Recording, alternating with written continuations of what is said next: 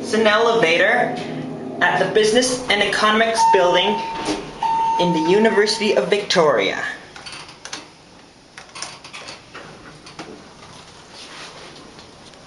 These are Montgomery KONE elevators.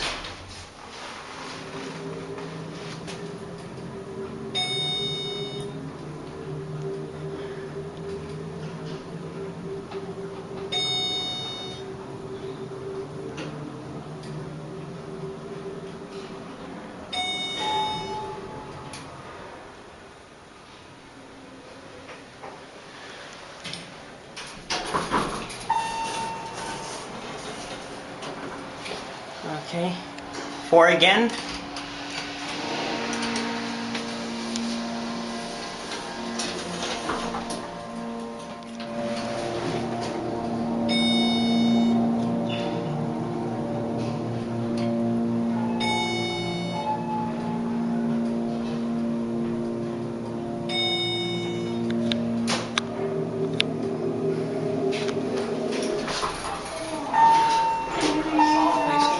to the mean level.